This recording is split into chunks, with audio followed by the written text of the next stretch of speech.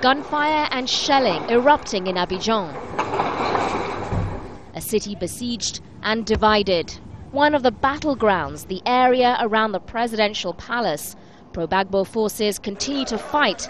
They're determined to hold on to it by any means necessary. Out on the streets, gangs of youths loyal to Gbagbo, known as the Young Patriots, cheered on his forces. Au prix même de notre sang, nous allons mourir. At the cost of our blood, we are going to die so that the Republic survives. Early Saturday morning, Gbagbo's troops retook the state television building. But the reality is that Ouattara's men are pushing ahead. They've already taken much of the country, and Abidjan is where they'll face the decisive stand.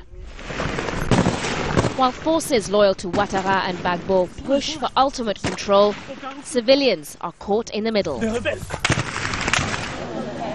More than a million people are fleeing the fighting. Tens of thousands crossing into Liberia.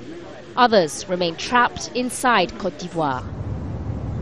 The Catholic charity Caritas says that over 1,000 people were killed in one town over three days.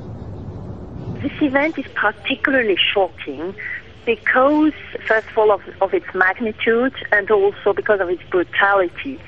Um, and we strongly condemn direct attacks um, against civilians.